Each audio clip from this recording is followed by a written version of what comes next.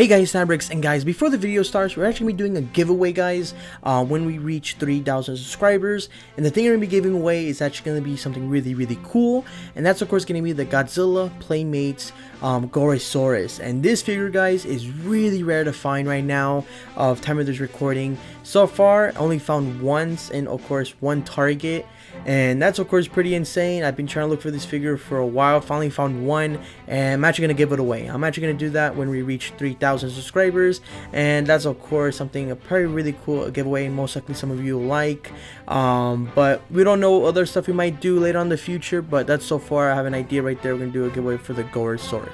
So when we reach 3,000, of course we're to be giving it away. So hope you guys enjoyed the video, bye. Hey guys, StandardBricks, and guys, we got some new news right here, guys. I know I've not been uploading, I'm sorry for that. I've been trying to do some videos, but I haven't really got any idea for videos and like that. Nothing really, really wanted to talk about. But here's, of course, an item right here I really want to talk about that's actually really, really cool. And here it is. Here is a four film collection steelbook um, Godzilla collection right here for of course the Monsterverse and these right here look amazing but this is the only picture we have right here. There's no other pictures, no price, no release date. Um, we actually don't even know these are actually to be for the US. But usually these, of course, still, of course, um, books like these cases like these are always a US version. But I could be wrong, but most of the time, usually they are. And the pricing, we have no idea either. I have some ideas, but it's kind of scary. It really is. Um, but usually steelbooks like separate like these right here are always $34.99. I think sometimes they've been raising them for like $37.99. I think the last one for Godzilla vs Kong was $34.99 though, and I actually do have that one from the course when that came out for like I think the first day for Blu-ray and 4K like that. The other thing is we actually don't know these are going to be 4K or Blu-ray, but to be honest, most of these uh, most of these of course steelbook tins are always 4K and it does come with Blu-ray. Uh, I'll be kind of shocked if it doesn't come with Blu-ray, but I'm pretty sure it's gonna come with the 4K and Blu-ray. Um, but out the bat, here of course, um, here it is. It looks amazing. Here's of course all the movies right here in the bottom. Here, starting with right here 2014, Kong Skull Island, Godzilla King of Monsters, and Godzilla vs Kong. And out of these right here, my favorite one in order has to be Godzilla 2014, Kong Skull Island, Godzilla vs. Kong, and the Godzilla King of Monsters. For me, the 2014 one pops. I love the red. I love the design of the Godzilla. The other one right here is actually going to be Kong. The Kong to me looks really cool. The green is something different.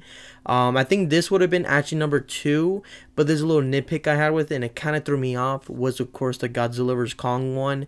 Um, that'll be number three, but I think that could have been number two if maybe they fixed this part.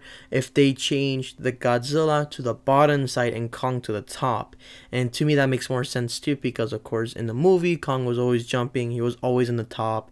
Godzilla was of course always looking up. Um, so that's a little thing, a little nitpick right there, but they, I would say they still look nice. Um, the other one right here is, of course, Godzilla King of Monsters. I would say this one does look cool. It's just the color they chose of the yellow, not the biggest fan. But I do like, of course, he is roaring up. There's a little, of course, helicopters. I think those are flares in the background. I could be wrong, but that's all far what I noticed. And those are, of course, the steelbooks right there. Um, I was actually really hoping to maybe see some of uh, the art in the back but so far it doesn't look like we have any pictures of these. Um, but I would say it's pretty insane because I know usually these steelbooks of Godzilla vs. Kong go for quite a bit. I mean Godzilla vs. Kong. I meant the steelbooks for these movies go for a lot. I think the Kong one goes for over like 80 bucks, 4K. The Godzilla King of Monsters. I even I sold mine because I know that thing was going for over a hundred dollars. I think I sold mine for like around 90 at the time. Um, and I think it was actually going up to like 150 new with wrapping and like that. And that was pretty crazy. I think right now Godzilla vs. Kong is around like 55, 45. And I think the regular 2014 one was going up to like the new 4K one was up to like 50, I'm pretty sure. I haven't checked for that one in a little while. Maybe it might went up or down. I don't really know. But these are of course the steelbooks right here, really cool looking. Here's of course the little tin case also. You can just slide them in right there. Um, pretty cool box art right here of of course the Monsterverse 4 film collection. Little scratches, you see Godzilla and Kong. Here are the sides, of course shows Godzilla and Kong, really cool looking. And that's pretty much the box right there. So pretty much, I'm pretty sure these are going to be the 4K with Blu-ray. And the pricing, I have no idea. But here of course in Um, Best Buy here, of course, usually they're always here, and usually they're gonna be like pre-orders of course here. And i remember of course this avenger 4 uh, movie collection right here were 4k and i have feeling they raised this one up because it was of course marvel and avengers. This was 130 and this is pretty interesting. Right here hobbit um, with all three the three movies of the hobbit for 120 and these were also 4K, but these are also the extended cut and the, um, the, of course the theater cut like that. So I'm have a reason that's most likely why that's more expensive for that one. But here, of course, are more of the newer ones right here of the Indiana Jones uh, for a hundred dollars. All four films, 4K. Um, uh, is that even steelbook? Yes, that is a steelbook. Um, looks like pretty much the same thing as, of course, the Godzilla one right now. And here's of course another new one. Um, right here is Rambo. Um, actually comes with five movies, 4K with Blu-ray, and that's actually $95. And that comes with five movies. So that's pretty interesting right there. So we most likely have an idea of a price. Here's another one right here actually is the steelbook for The Legends of Korra.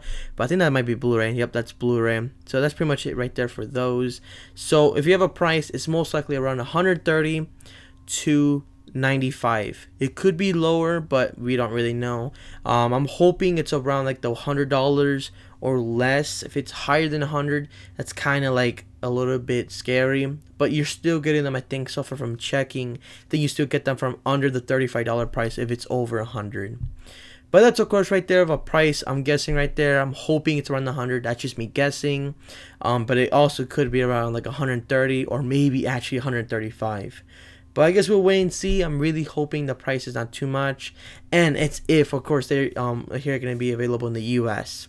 But I guess we'll wait and see because this would be really funny me talking about this, and they're actually only going to be in Japan or they're only going to be in, like in the United Kingdom or something like that. But that's of course my thoughts right here, guys. I'm definitely most likely will purchase this if it's around the hundred dollar range right there because these look really really nice. So that's of course my thoughts right there, guys. let me know down below for of course your thoughts, and you guys can pick this up for sure, or you guys gonna pass, or you don't really. Um, are you just fine with your Blu-ray or your of course regular versions? Um, because the funny part is I actually just recently purchased Godzilla vs Kong for 4K, like Oh no, not Godzilla uh, versus Kong. I meant Godzilla King of Monsters for 4K. So that's kind of funny. I bought that, and now that I might get this also instead.